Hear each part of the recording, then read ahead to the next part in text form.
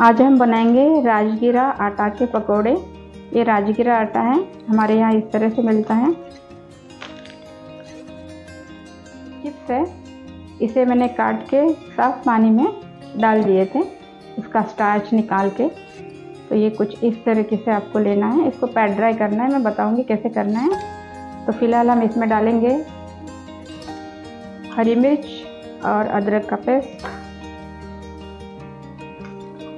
ये freshly crush black pepper ये है भुना जीरा. लास्ट में डालेंगे सेंधा नमक उपवास का. अब मैं इसमें डाल दूँगी थोड़ा पानी. ये मैं इस तरीके से इसे मिलाऊँगी.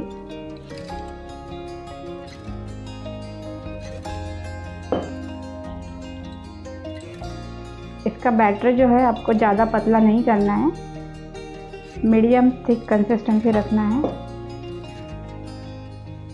ताकि ये चिप्स को अच्छी तरीके से कोटिंग पकड़ ले। देखिए कुछ इस तरीके से। ये पूरे मैंने टिश्यू पेपर पे डाल दिए है हमारे चिप्स। अब इसे मैं पैड ड्राई करूँगी।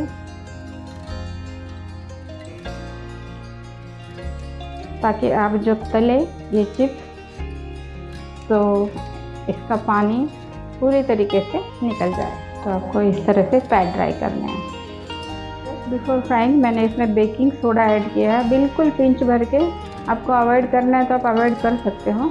देखिए, बिल्कुल कम डाला है मैंने।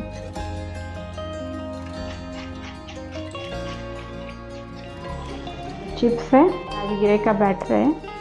आपको इस तरीके से डिप करना है ताकि बहुत साइड को कोटिंग आ जाए। और फिर इसे हमें ऑयल में डीप करना है। ये डो थोड़ा पकने में टाइम लेता है। फिर ऐसे वो आधे घंटे तक बरकरार रहता है। एक बार आप बनाइए, बहुत टेस्टी लगते हैं।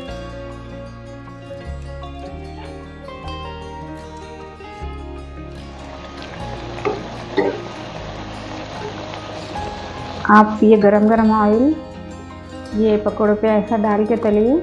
ताकि ये आपस में चिपके नहीं। अगर चिपके भी हो तो ये जल्दी से आसानी से निकल आए। ये देखिए कुछ इस तरीके से।